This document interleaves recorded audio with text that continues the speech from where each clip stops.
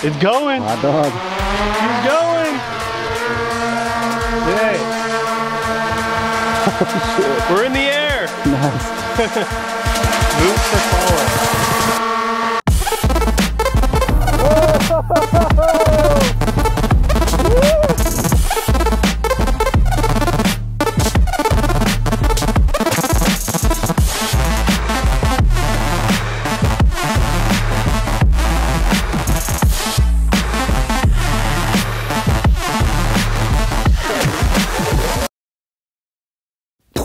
Insane, right? That Skydio 2 got some mind-blowing footage that I was not expecting.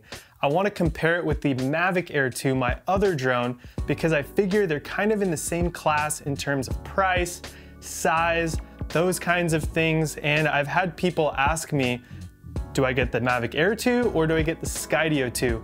And in this video, I wanna explain the differences. In just a minute, I'm gonna give you three reasons why you might wanna get the Skydio 2 and then three reasons why the Mavic Air 2 by DJI might be better for you. I do wanna start off by saying right off the bat, for a lot of people, the answer is gonna be both. That's how it is for me at least.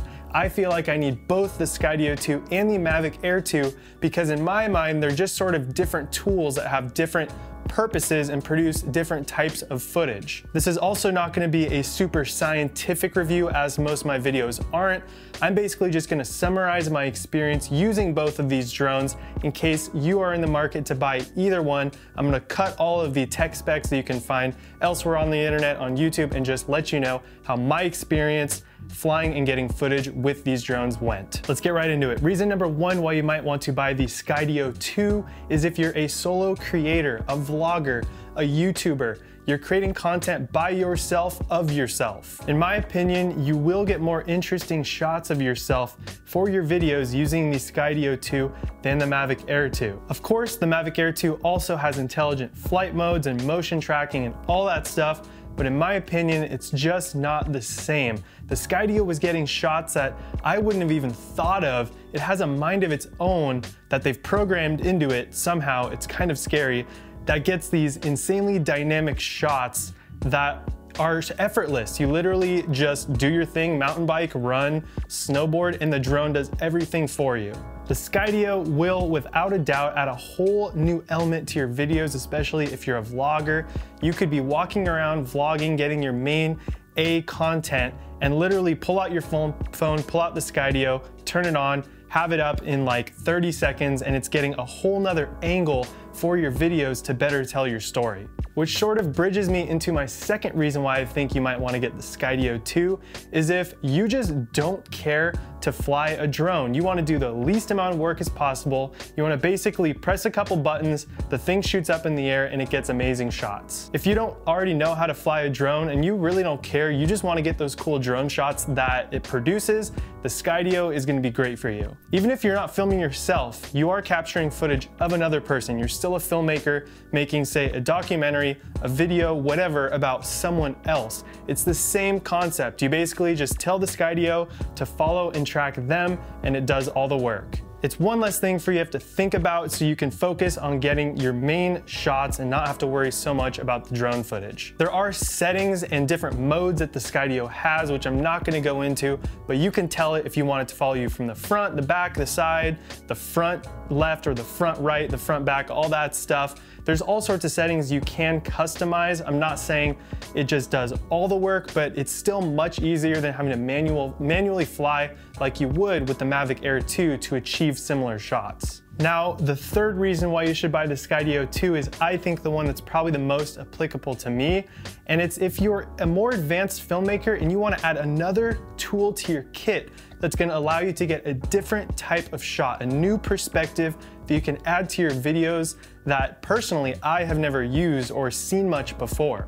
It's yet another tool that technology has created to give our videos more depth, another element, just something else to make them more interesting, more innovative. As someone who's probably clocked hundreds of hours with all sorts of drones, I was learning things from what this Skydio 2 was doing, from its flight patterns. Like I mentioned earlier, it was getting shots that I wouldn't have even thought of. So even if you are an experienced drone pilot, By putting this thing up in the air and just watching how it tracks people, you're probably gonna learn a few new moves or shots. Another reason why the Skydio 2 is great for someone who's already more advanced or professional at filmmaking is you don't have to focus as much on the drone shots. You can focus on your A-cam, your gimbal shots, your shots from the ground with your higher resolution cameras. Then you can kind of let the drone go and do its thing. Now, of course, this depends on the project and what objectives you're trying to meet for that video. You might be focusing more on the drone footage and you want more control, but for other projects, it may not be a big deal. You just wanna have one or two little establishing aerial shots, which is kind of how I like to use drones. So the Skydio 2 would be great for that. By now, I'm probably making the Skydio 2 seem like a no-brainer to buy over the Mavic Air 2, but there are some very, very, very important reasons why you might wanna go with the Mavic Air 2 over the Skydio 2, which I'm gonna get into right now. Reason number one, why you might wanna go with the Mavic Air 2 over the Skydio 2 is simply you don't find yourself tracking a subject very often with your drone footage. You shoot more landscape drone shots, establishing shots, things like that where you're not necessarily chasing down a subject. Saving you the details, the Mavic Air 2 is gonna be better at that in pretty much every single way. You can definitely get these types of shots with the Skydio 2, but I found it so much easier and so much more of a pleasure to get on the Mavic Air 2. For starters, the Mavic Air 2 has a much greater range and much better video transmission to your phone, that live feed video you see while you're flying your drone. I have literally never had my Mavic Air 2 video transmission cut out on me and I have pushed that thing to the max. I've flown it so far, and that used to happen to me all the time on my Mavic Air 1, so I'm extra appreciative that it doesn't happen anymore. It happened to me multiple times when the Skydio was not even 100 feet away. The transmission would start to lag, it would kind of cut out and come back. It was just all bad compared to the Mavic Air 2. So much better of an experience. It'd be kind of the same feeling as comparing like the technology in the iPhone 12 to like an iPhone 4 or 5. I think DJI's software has just had a lot more time being developed, probably a lot more money, a lot more people behind it, that being said, the Skydio 2 isn't bad, I'm just saying it's not quite as good as DJI's. The Skydio 2 does have a remote controller you can buy, but it's not very good at all. So you're basically controlling the entire drone with your phone. With the Mavic Air 2, you get a dedicated controller with my favorite feature here, these three modes you can flip between normal, sport, and tripod mode, sort of a slow cinematic mode. So when you're flying, getting those cinematic landscape shots is just so much easier by having this controller over having to use your phone on the Skydio 2. I feel like I'm just more one with the drone with the Mavic Air 2.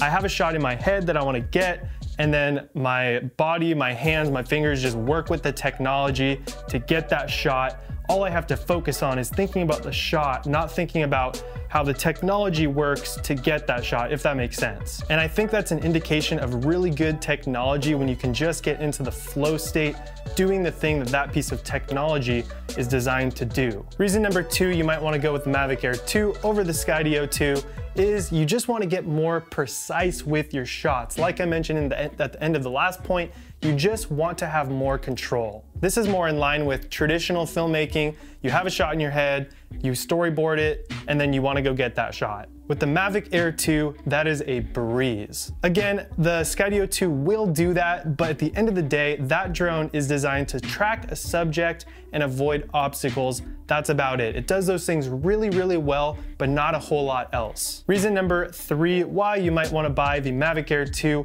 over the Skydio 2 is you just want something rock solid, something that is gonna work every time, is just a total pleasure to use, and yeah, it just works really well. I'm not saying the Skydio 2 doesn't work well, I'm just saying that overall it just feels so much nicer using the Mavic Air 2, so much easier to fly. For example, the battery life is way longer. Out of three batteries that I get with the Fly More combo with the Mavic Air 2, I can get so much more flight time than the Skydio. If I was using the Skydio 2 for a paid client shoot or something really important, I would probably want to have some sort of DJI drone on backup, preferably the Mavic Air 2, just in case. And yes, with more control for the Mavic Air 2, more personal input, I could have a higher risk of crashing it, you could have that argument.